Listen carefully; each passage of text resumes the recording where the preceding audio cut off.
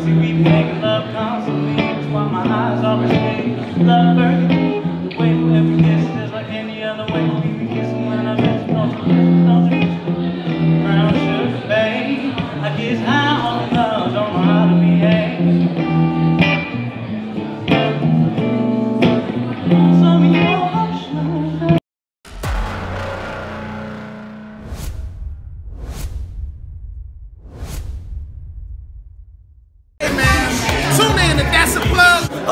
Also, it's short. I just want to put in a simple plug for y'all. Man, shout out to That's a Plug. Make sure y'all tune in, subscribe, and catch the wave while you can.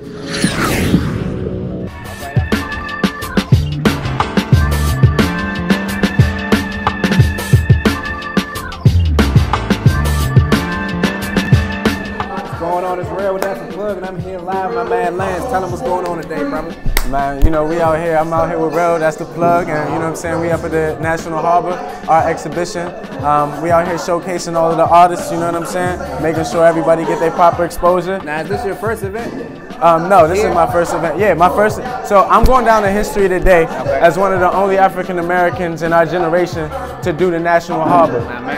And to be in a five-star gallery in the National Harbor. Thank you, I appreciate it. Yeah. We right here on the wall with Pablo Picasso. You, you know what I'm saying? Like you can't get no better than that. Exactly. You know, so you know we up here having a good time, man, and you know enjoying everything. Shout out to Wine Tasting Room. Shout out to, to the you know to the plug. You already know You know what I'm saying? Shout out to Devoted, Molly King, everybody that's a part of this event, man. Because without none of them, it wouldn't be none of this. Exactly. You know what I'm saying? Take us back a little bit. What brought you to this moment, to this day? What's the What's the biggest hurdle you had to jump over to put you at this level right now? Uh, the biggest hurdle I had to jump over was uh, was fighting racism within within my art. Right, You know what I'm saying? Like uh, black artists aren't really recognized within the art community like that. So I had an idea, and I was like, you know what?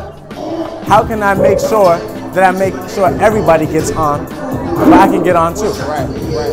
So when I came to the gallery, G has said, Your art is amazing. How come you haven't had an exhibition yet? I said, I haven't had a place to. Right. He said, Why don't you have it here?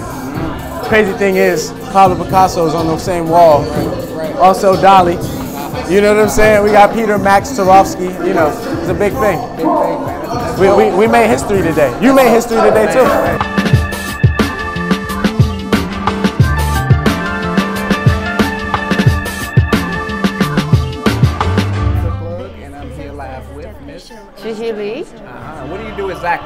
Exactly, Miss Lee? Um, I'm a painter slash curator at Art Avenue, Okay, all right, that's where we are now. mhm, National Harbor. Exactly is feeling? So um, we represent different artists uh, from local to international. Okay. We're at Lance Everett um, Group Exhibition at National Harbor, Art Avenue. That's the plug.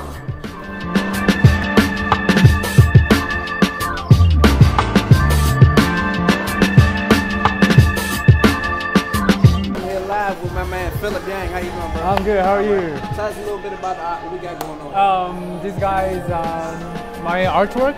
Uh, I usually drew the portraits of each of the person who gave the good impression, uh, feeling and good emotional uh, feeling. So, uh, so I'm gonna introduce each of the person. This girl is Frida Kahlo, who is Mex- who is Mexican painter, and this girl is Audrey Hepburn, and this guy is Natalie Portman, uh, and this guy is Jean Luno, who is a French actor, and those guys Daft Punk. Uh, I love this guy's song. You said Daft Punk? Uh, Daft Punk, Okay. two guys. That's the uh, techno. not Yeah, techno. Yeah, yeah, yeah. Record. And this guy, I love this guy. You know who he is. Yeah, you know who he is uh, Obama, president. Yeah. And this girl is Ruby Rose. How long does it take to construct one of your pieces of art? Um, I started to draw it from uh, since when I was 22, but now I'm 27. So I took, I started from five years, five years ago uh, during making furniture. Those was my hobbies. Yeah. So So where do you want to take it? Like when you're moving forward and once you're ahead in the game, probably 10 years down the line? Where, where do you see yourself 10 years? Be like a great artist in the United States because I just moved to here two years ago from my country, Where, where you from? South Korea. Okay. South Korea. My name is Yuno Yang. If you see, and my friend, if you watch this video, just send me message. Okay, okay, by the way.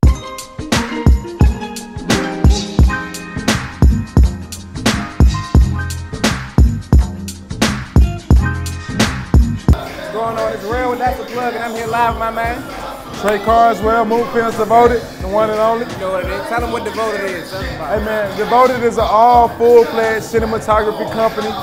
We do everything from motion picture movies to short films, feature films, music videos, commercial, promotional videos, events, you name it, we shoot it. All right, all right. Why shooting? Why, why, why videography? Hey, again, my passion is an actor. You know, I started as an actor, but I was seeing what was going on behind the camera, like the, the, the camera guy, the, the director, the, the, the, wardrobe department. So I, you know, took my passion in front of the camera, brought it behind the camera, and next thing I know, I'm shooting everything around the world, you know? Yeah. So what's your inspiration for doing it? Like why, why, why do you love it so much? What's the main thing that keeps you doing it? My daughters, uh, Mia and North, you know, uh, th- those are my baby girls. The name of the company is Moot Films Devoted. It used to be Nia Films, that's the name of my daughter, but I had to change the name because it already existed. And I call her Moot when I see her. Okay, So if you ever see me and my daughter, I'm like, come here, Moot. So Moot Films Devoted, you know, my passion, my love for my daughter, the film world, being devoted to both of them, and that's how you have it, Moot Films Devoted. What's your goal with your company? Where you want to take it? Oh, we're going Paramount status. Distribution. Again, Netflix, Paramount, Fox Studios, Tyler Perry Studios, Moot Films Devoted, Real Studios. It- it- it's coming. It's coming. 100. So where do you think the, the, the what's the vision or what's what's the road to video right now? Where's it going to end up? Because we going right now. We on Right. YouTube. We on Right, Netflix. right. Basically, HBO, Showtime. That's the thing of the past. That's real. So where we going? Where you see it going? I mean, the, the promotion, the, the production world is definitely going the streaming route. I mean, again, my daughter generation, they're not gonna sit down and watch TVs. They probably don't even go to the movies, but they will pull out their tablet, you know what I'm saying, their phone. So I definitely would say, or, advice to any up and coming production, definitely try to go to streaming network, you know, the streaming, you know, route because that's the route that production's going. You know, Netflix, Hulu, Amazon. It's not really your traditional blockbusters and DVDs, and that's just the, the way of the ship for the world. Yeah. Last but not least, what's one major hurdle you had to overcome to get where you at now? To have nobody in my family, in my circle, in my circumference being a part of production and wanting to do it, but having nobody to talk to, ask a question to. So you, I had to really throw myself out there in the world that I ain't ever, you know, known of or was involved in. And it wasn't easy, but again, perseverance, consistency, you know, and all praises to Allah, you know, it, it worked out, you know what I'm saying? It, it got much more to go. So for sure.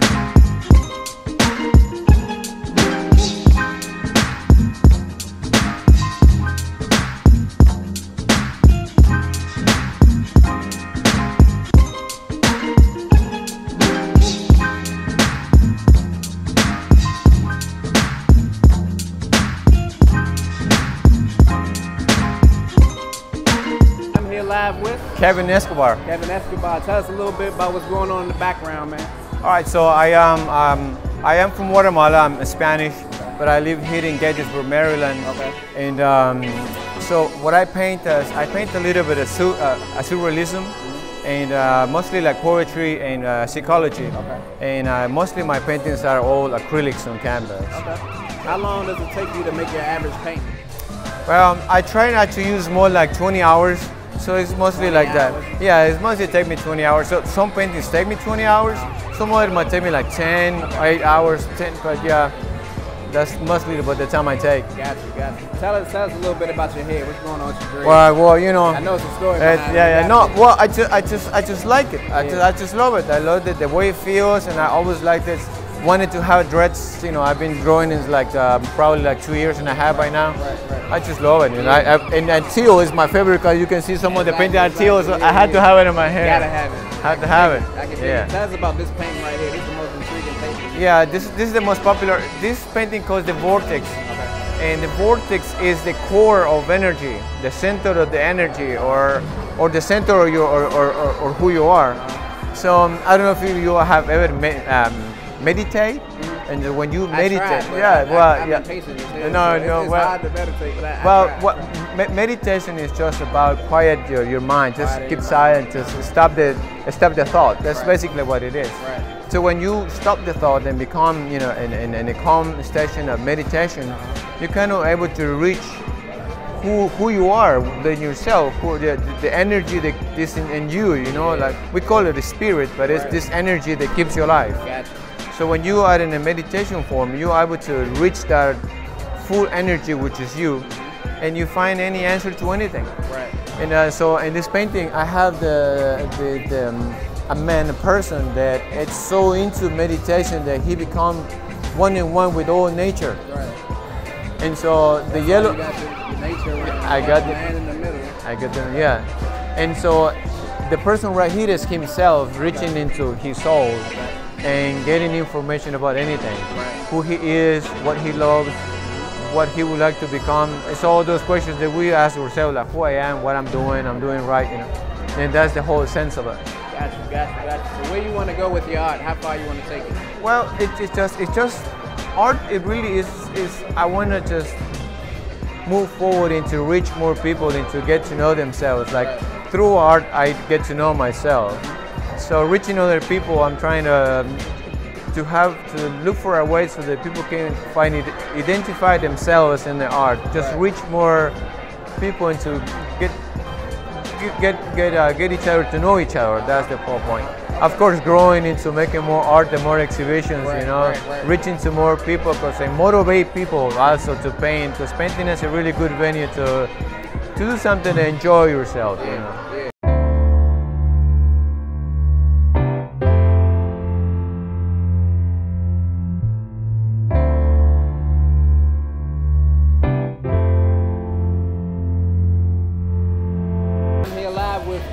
What's going on? Hey, how are you? All right, tell us what you got going on, what you do.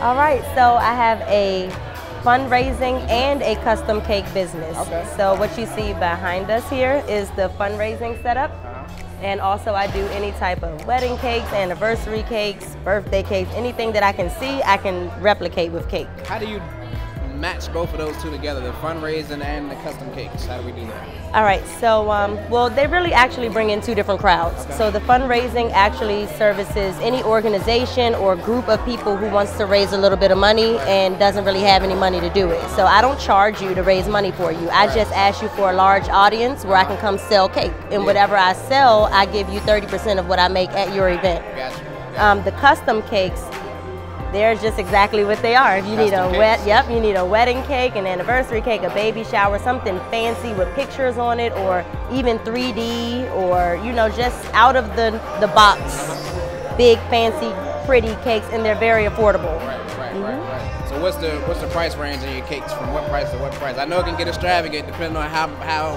luscious and oh, diverse yeah. the cake is, but what's the price range in that? Um, so for the most basic cake, probably about 20 bucks. A double layer cake that you might sit on your counter in a cake dish, about 20, 25 bucks. It goes all the way up to hundreds because I can stack cakes as high as you want them. So as big as it is. How high have you stacked the highest cake? Um, the biggest I've done is a four tier. Four tier cake? Yeah, but each tier was kind of thick because they get way bigger. But you know, Yeah. yeah. So That's a lot though. Oh yeah, definitely feeding hundreds of people. Um, you know, and um, oh, I'll get you another. So, So, yeah. what, what what made you want to start this? What, what what brought you into the baking and cakes and all that? Okay, so I began fundraising when I was in college because I went to a small HBCU where we had to raise money to get the extra things. Um, so I was a four sport athlete and we ran into the same problem with each sport. We just had enough money to travel, spend the night, and go play our game, but we didn't have the fancy sweatsuits that all the other state universities had and all of that. So what me and my teammates did was I went, I baked a bunch of cakes, I gave each of my teammates a pan and we went throughout the stands in the football games and the basketball games and anytime we were having an event at school, we went selling cake in the name of our, our team. And we took donations and sold cake to raise enough money to buy shoes, uniforms, you name it. We even got our stuff embroidered by selling cake. Back then, I was selling it for a dollar a slice. A so dollar a slice. yeah. And how much is it now? Um, now it's one for three or two for five, so not bad. I'm here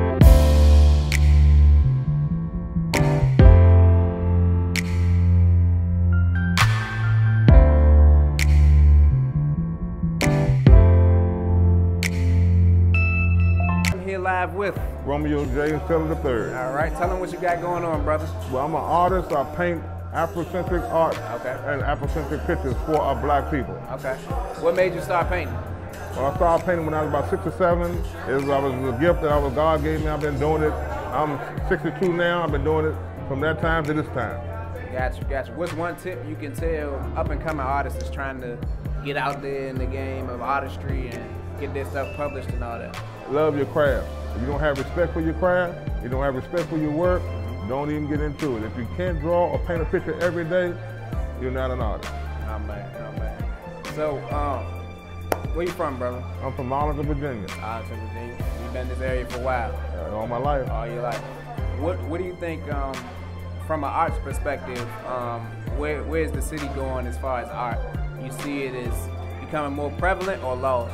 I think that the art in this particular area, the DMV, is more, um, I would say, European driven. The African American artist struggles day to day.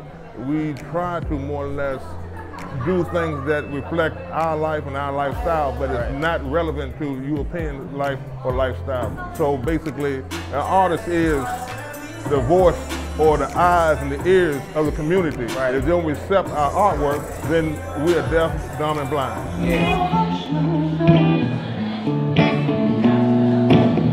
Sweet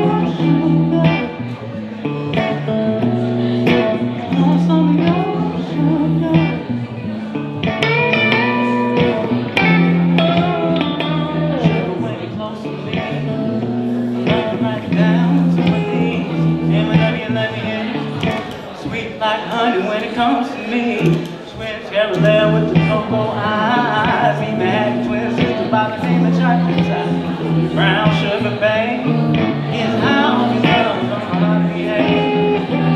I'm here live with.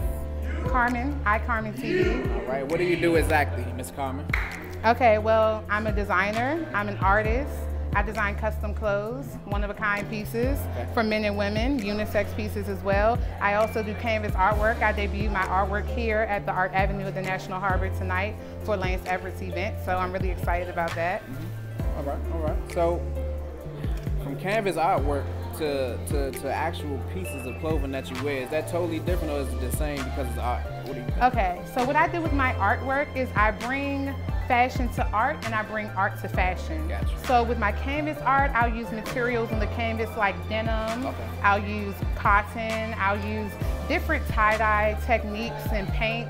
And then with the clothes, I use paint on the clothes. So it kind of crosses both worlds into one of another, but it all follows the theme of an abstract feel. Mm-hmm. So it's no real perfect way to do it and it makes every piece one of a kind. Gotcha, gotcha. So, what made you want to get into the whole creation uh, zone and realm? What made you get there? Um, I've always been a very creative person. I've been very expressive. I have a lot of creatives in my family. So, I mean, it's something I've always done. Right. Now I'm older and I know business better. I just do it in a certain structure. So it makes sense now. Is it hard to to juggle between being a creative and a businesswoman at the same time? It's very hard to struggle between the two because when you're a creative, you have like a really abstract mind. Like you could be here today and here tomorrow. You could be in the room, but your mind's out of the room. Right. You have a lot of thoughts going on at one time. So being so creative, but then having to be business and be grounded and be structured, it can sometimes collide because the song we used tonight was Rockstar, and that definitely describes me sometimes, Right. which is definitely against the grain when it comes to certain business morals and ethics. But I believe in embracing that because that's what makes doing business actually fun. That's a plug. That's a plug. That's a plug. That's a plug. With my boy, the plug himself, Move Fierce about it. The collaboration is coming.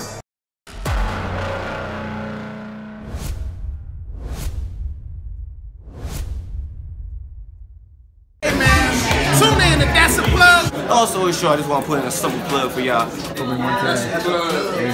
Man, shout out to That's a Plug. Make sure y'all tune in, subscribe, and catch the wave while you can.